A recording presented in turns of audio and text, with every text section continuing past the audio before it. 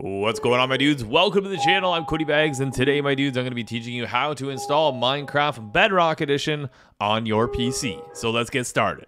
All right, so we're going to make our way to Minecraft.net using our favorite browser. Mine is Google Chrome, so I'm going to go ahead and open that up, and we're going to make our way to this page here. We're going to go to the top right corner where it says Log In.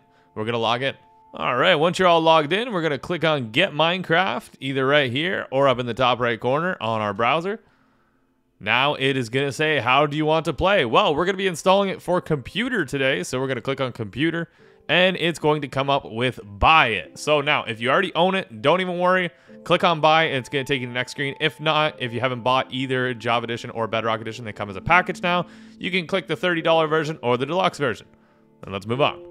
So we click buy and here it says you've already owned it and you can download it. So we're going to go ahead and hit download. Now there is another option for downloading if you want to pick that, but I'm going to go ahead and download for Windows.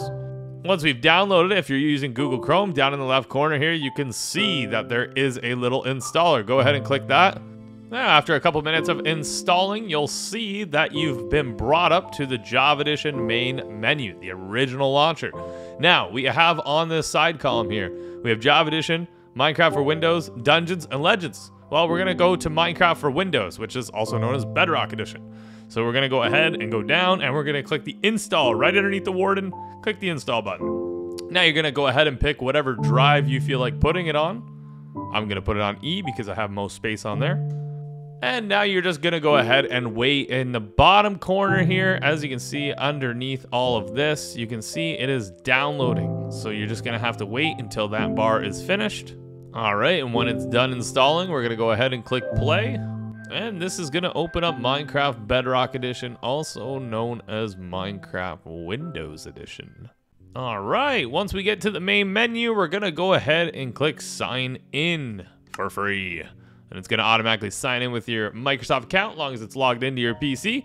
And it's gonna give you all the new info about the new update.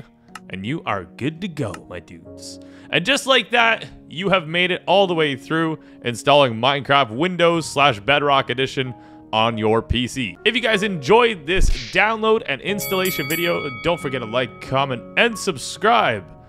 And if you guys want to see more, don't forget to smash like. Peace out, my dudes. I'll see you very soon.